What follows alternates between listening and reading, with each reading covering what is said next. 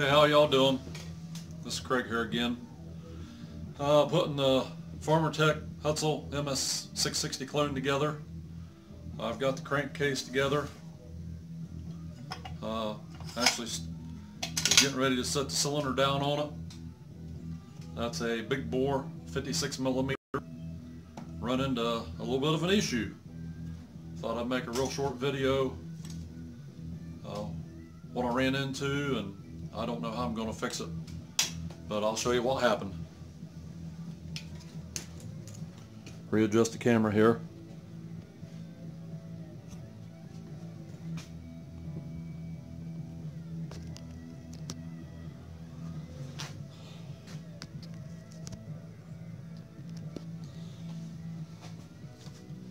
This right here is the stock cylinder that come with the saw. This is the Farmertec 56 millimeter big bore. I have done a little bit of work to it. I don't know if you can see that, but I got in there and I opened the intake up a little bit, smoothed it all out, took the bump out of it. On the exhaust side, done the same thing, opened it up, gasket matched it to the muffler. Got in there and done just a little bit of work to the transfers, not a whole lot. I got what I could get. I don't have very sophisticated tools, so I could only get so far. But anyway, get the piston on it. Get ready to set the cylinder down.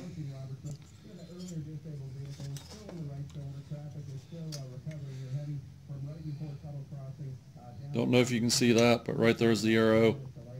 That is pointing toward the exhaust side.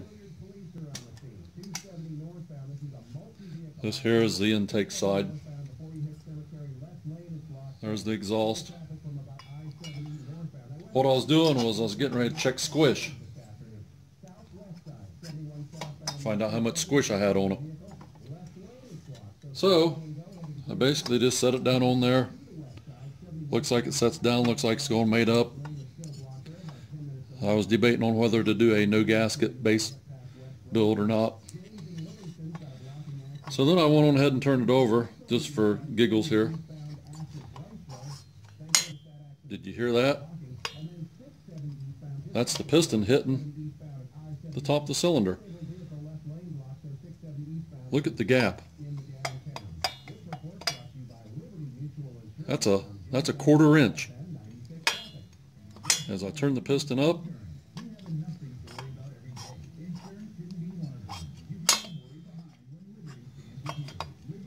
there's no way that the little shim gasket, metal shim gasket that they supply going to take care of that kind of a gap.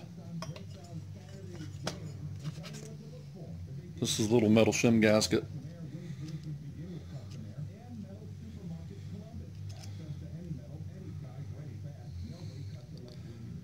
Point sixty-five before it's crushed. so, I've done all that port work on that big bore cylinder for nothing. So now it looks like I'm going to uh, be using the standard cylinder, the stock cylinder. You can kind of see the difference. Since I'm going to be using this one, let me just go ahead and open it up. Or at least I hope I'm going to use this one.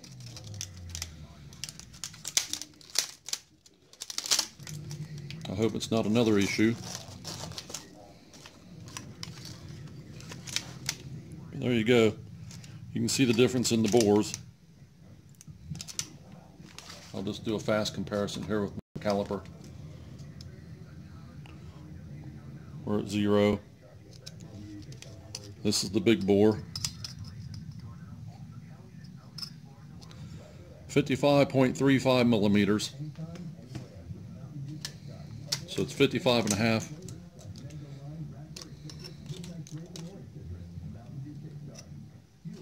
That one there is 53.32, so that's 53 and a half. So you're two millimeter bigger. I don't know, without doing the math, I don't know the exact CCs. But that's probably three or four.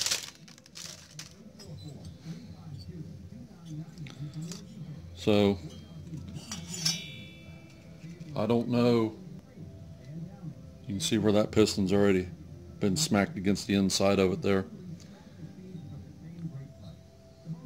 This one here doesn't look too awful bad.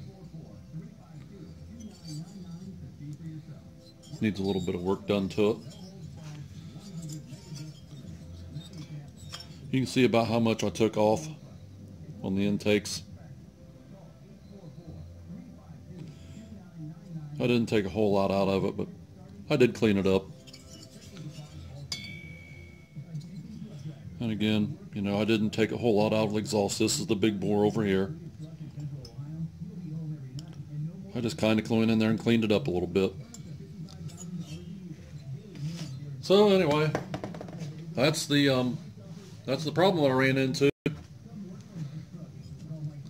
56 millimeter big bore. When you set it down on, with the piston all the way up, it doesn't seat all the way down.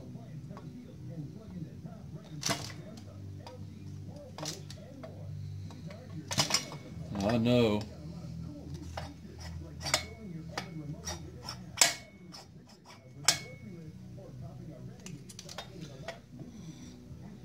That's definitely more than what that shim, that metal shim is going to be. I'll try it just to make sure, but I know that's going to be too big. Okay, that's all. Thanks for watching. See you in the next video.